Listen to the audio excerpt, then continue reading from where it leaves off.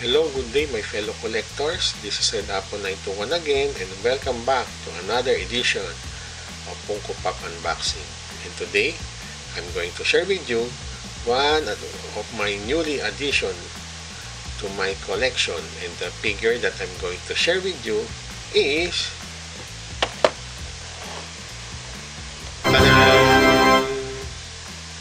Space Jam New Legacy 2-Pack Bugs Bunny as Batman and LeBron James as Robin. But before we do the unboxing, let's take a quick look at the artwork of the box. Here you can see the iconic signature window display box of the Funko Pop. You can see the Pop movie. This is a movie line.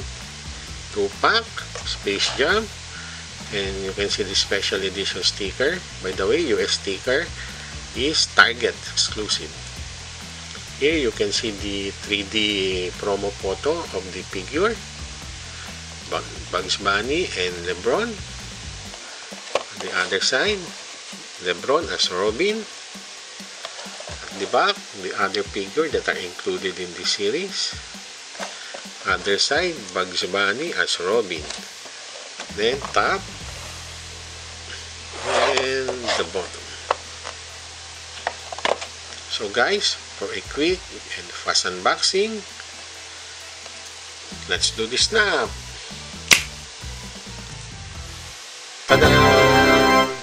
Now let's take a closer look at the figure. Let's start with Bugs Bunny. Bugs Bunny as Batman. I like the detail you can see the detail of the head, the big black round eyes, and the big head. Look at the ear of uh, bugs standing up compared to the other figure. It's nice. I like the color. I think the color of this uh, costume as Batman is uh, Super Friends costume, I think. Or the comic version. But uh, overall, I like the detail. It's so cute, guys. It reminds me of Batmite. Highly detailed. Look at the logo of Batman. So nice. Nicely done. I like it. It's, it is a great addition to my collection. But as usual there's a flaw here. Nice guys. Now let's take a look at LeBron James as Robin. Uh, I think uh, LeBron is wearing the 1966 uh, costume, the Barry's, Barry's 1966 uh, Batman and Robin costume.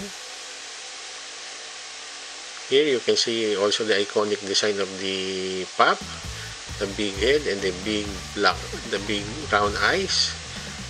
This time is not full black because it shows an eyelid.